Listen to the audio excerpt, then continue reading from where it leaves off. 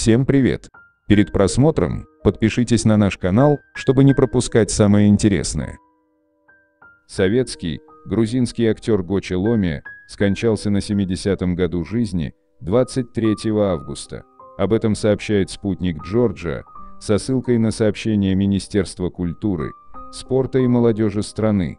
Смерть Гочи Ломи – большая потеря для грузинского общества и грузинского кино, говорится в некрологе. Причина смерти артиста не указана. Ломия родился в 1952 году и хорошо знаком советскому зрителю по своему экранному дебюту в 1969 Гоче сыграл главную роль Зураба Редиски в драме «Ну и молодежь» Ризо Чиидзе. Также он снялся в ленте «Чиидзе саженцы», сыграл Мита у Тимура Половандишвили в «Бродячих рыцарях» и в «Похищении Луны» Тамаза Милиава.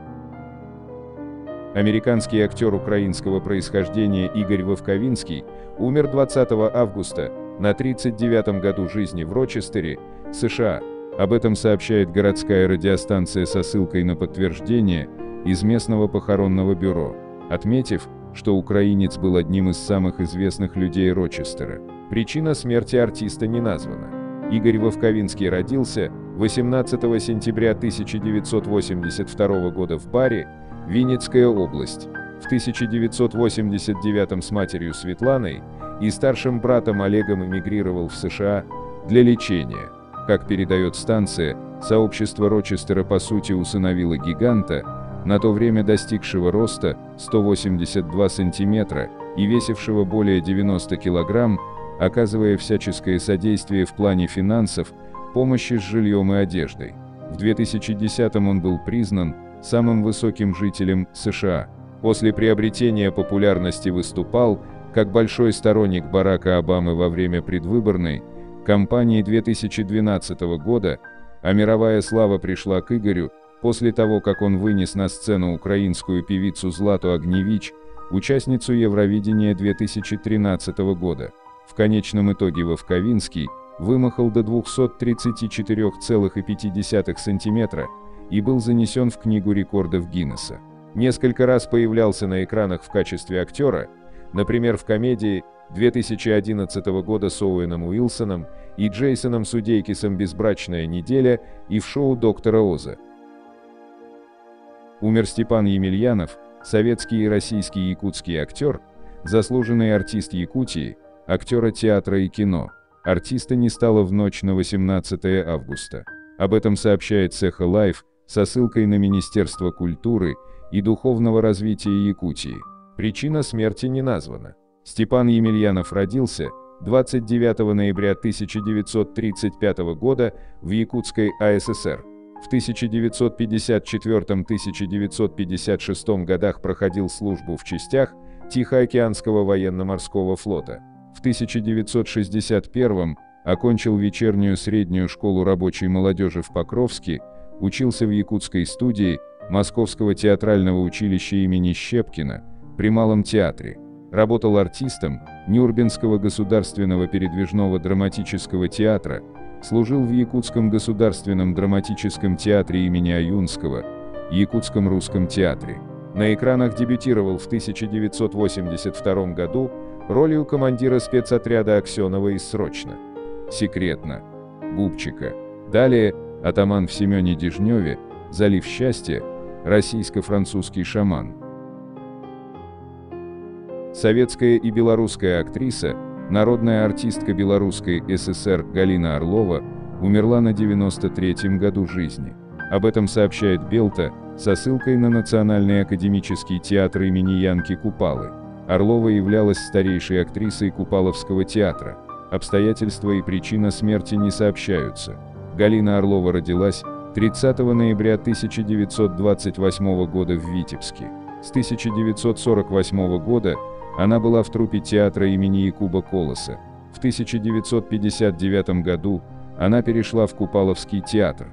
Актриса сыграла в таких спектаклях, как «Униженные и оскорбленные» Федора Достоевского, «Воскресенье Льва Толстого», «На дне Максима Горького», «Что тот солдат», «Что это Бертольда Брехта», Эрик IV Августа Стринберга. Звание народной артистки Белорусской ССР Орлова получила в 1991 году. Актриса была женой народного артиста СССР Николая Еременко-старшего и матерью актера народного артиста России Николая Еременко-младшего.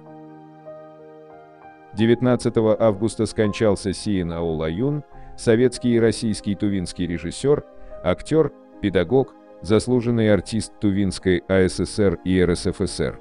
Об этом сообщает Тува Онлайн, без указания причин смерти артиста.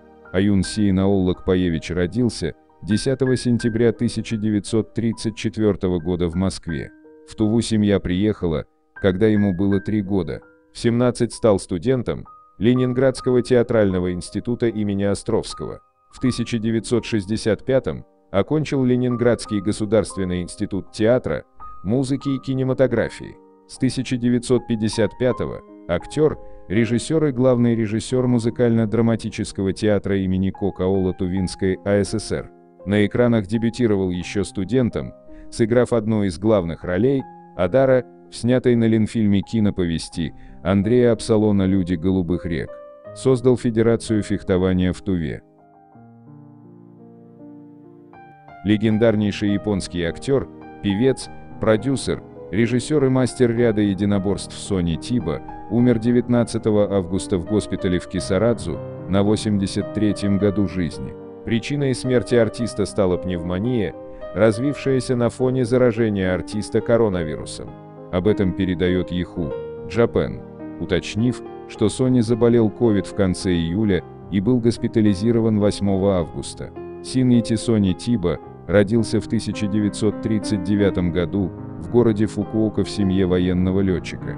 Обучился в Университете физической культуры, где начал серьезно заниматься карате, черный пояс. В 59-м дебютировал на экранах. На счету более двух сотен фильмов и сериалов, великая, в том числе множество картин про бравых самураев и ниндзя, частично хорошо известных российскому зрителю по эпохе VHS. Также Тиба снялся в сиквеле «Королевской битвы», сыграл Хатари Ханза в «Убить Билла» и появился в ленте «Тройной форсаж» – «Токийский дрифт». Популярный британский актер и комик Шон Лок скончался от рака в возрасте 58 лет. Об этом со ссылкой на агента знаменитости – сообщает The Guardian. Представитель артиста отметил, что актер умер у себя дома в окружении семьи. Шон Лок был одним из лучших комиков Великобритании. Он также был любящим мужем и отцом троих детей. Шона будет очень не хватать всем, кто его знал лично. Мы убедительно просим уважать частную жизнь его семьи в это тяжелое время, сказал агент. Одним из первых соболезнования семье Лока выразил известный английский комик, Алан Дэвис в Твиттер. Мы были знакомы с 1988 года, когда у нас обоих только начинались карьеры. В последние годы мы с ним практически не общались из-за его болезни. Мне очень жаль его жену и детей. «Покойся с миром, Локи», — написал он. В 1990 году у Лока обнаружили рак кожи. Лечение помогло ему справиться с онкологией. Шон Лок – английский актер и комик. В Великобритании он прославился в первую очередь как стендап-артист. В 2000 году он получил престижную британскую комедийную награду в номинации «Лучший стендап в прямом эфире». Также комик был постоянным участником популярного британского телешоу 8 out of 10 Cats Does Countdown.